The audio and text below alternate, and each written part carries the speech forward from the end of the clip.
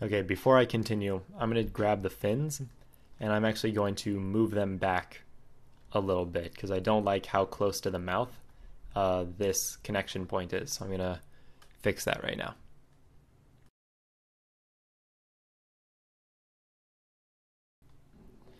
Now in order to make sure that both um, the left and right fins move together, I'm going to grab the fin instance, which is the right side, and I'm going to parent it to the main fin. So that way they'll all move together. And then to move it straight back, I need to hit uh, reset axis, and then I can move it straight back. And I'll grab the main body and I'll move this connection point to match that.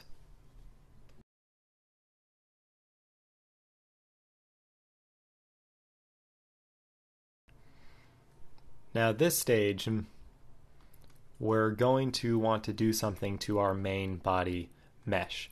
Now you see here in our Vox tree it has a little V next to it.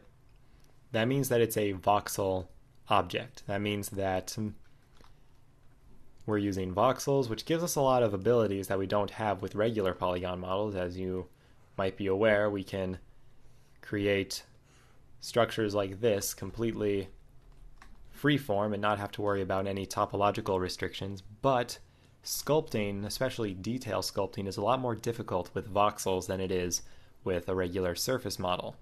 Let me try and demonstrate that. So if I grab a kind of a square alpha, which is very common for the build brush when you're sculpting, but you see if I start sculpting like this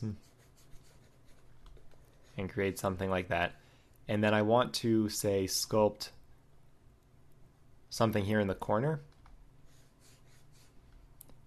you'll see how that brush kind of adds both to the flat area and to the raised area equally. And we haven't really filled out that corner. We've just moved, we've just raised it a little bit.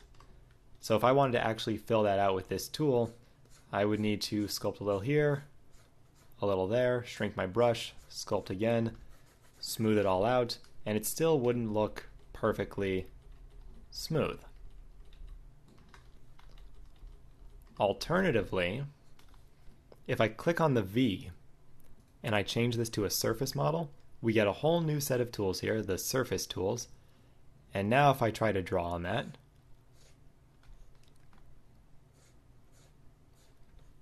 it's a little sensitive. But that'll actually start to fill out a bit more nicely, especially with some of the other tools we have here. Like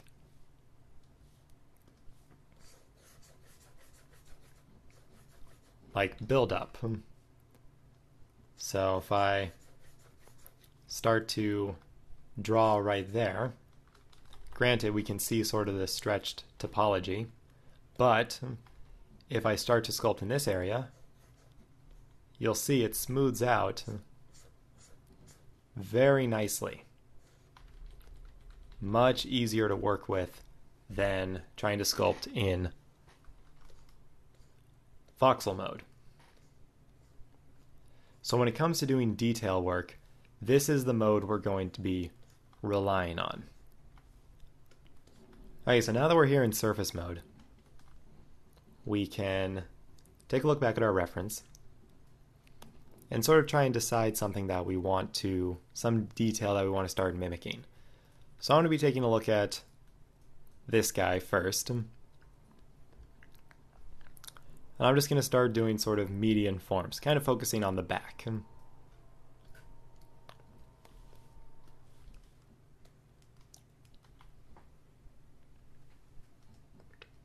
And then for this, whenever you're doing detail work, it's a good idea to keep uh, symmetry turned off. When it comes to details, nothing in nature is perfectly symmetrical.